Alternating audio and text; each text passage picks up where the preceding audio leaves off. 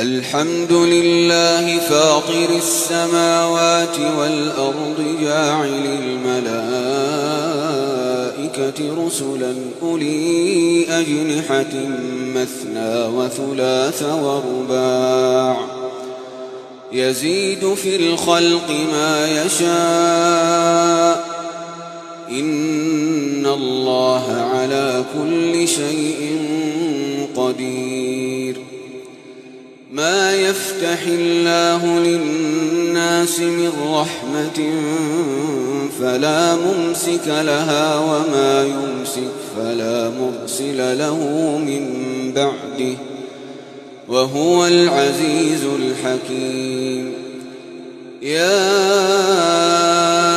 أيها الناس اذكروا نعمة الله عليكم. هل من خالق غير الله يرزقكم من السماء